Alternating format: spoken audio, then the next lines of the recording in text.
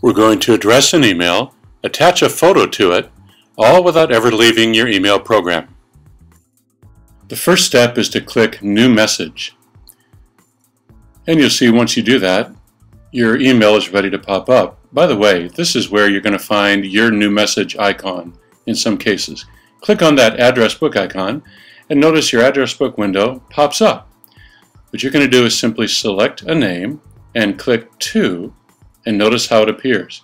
You can do this all day. Select another name, and in this case I'm clicking CC for carbon copy. Then you can click that red light and exit out of your address book and head on up to Photo Browser. You click that and notice all of your iPhoto photos are going to appear in this window, in this portal.